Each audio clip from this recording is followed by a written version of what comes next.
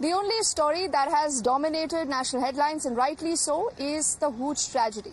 The Hooch tragedy that has led to about 62 people losing their lives, multiple people still very, very sick, admitted to different hospitals, and no accountability.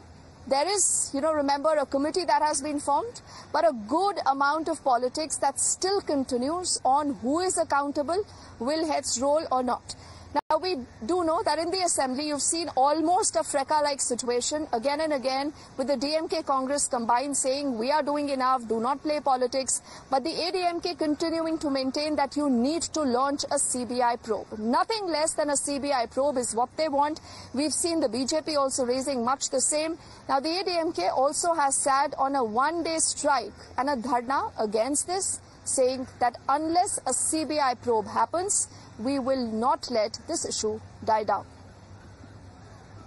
Continue when the assembly started, continuously we are we are seeking permission to raise the Kallakurichi illicit uh, rock issue. So far, more than 62. It's day, day, by day it is increasing. The debt. It's a, it's a it's a big tragedy, and and the methanol has been traveled not only from uh. Uh, there are sources are telling even Honorable uh, CM also uh, accepted in the assembly the methanol from Chennai or methanol from Pondicherry.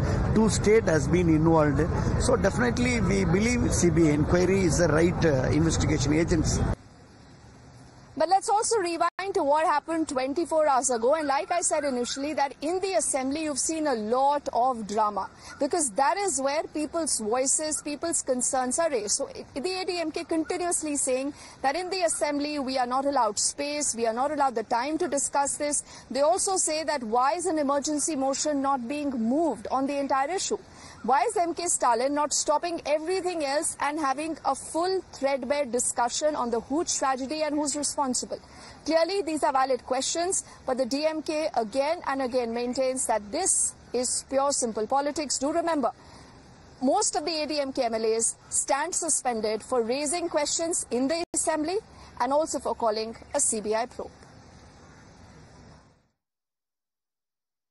As far as this uh, tragedy is concerned, it's a government, government-made tragedy. Uh, it is because of the inefficiency of the present DMK government, headed by Muka Stalin, that such an incident had happened. This is not the first incident, this is the second incident. So when there is a total failure of the system as such, such an incident had happened and this is the second incident. First incident around uh, 28 people had lost their lives. This is the second incident, around 63 people had lost their lives. No, we had raised this issue in uh, state legislative assembly as such, and uh, democracy was strangulated there. We were thrown out. MLAs were thrown out of the assembly as such.